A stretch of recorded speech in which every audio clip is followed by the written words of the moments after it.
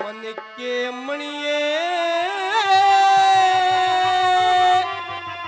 ਸਾਸ ਡੋਰ। ਚੁੱਪ ਚਾਪ ਰਟਣ ਕੀ ਮਾਲਾ।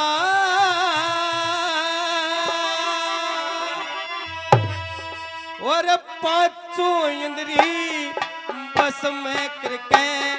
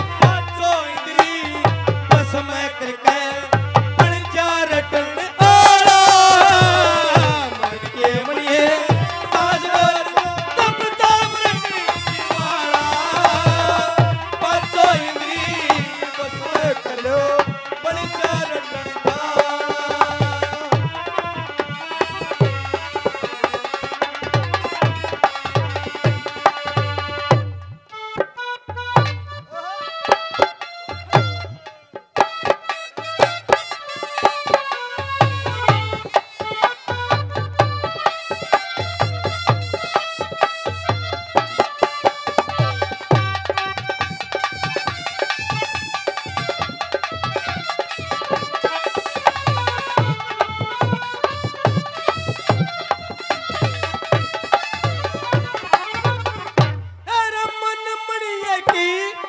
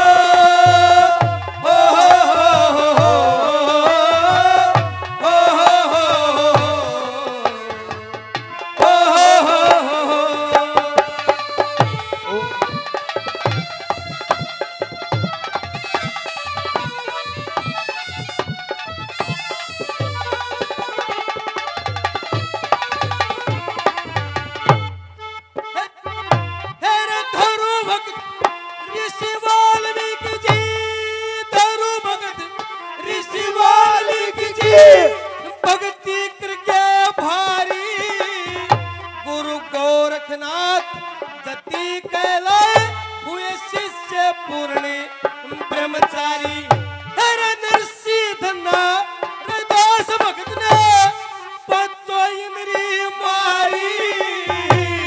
मीराबाई सदन कसाई, भक्ति की साख बता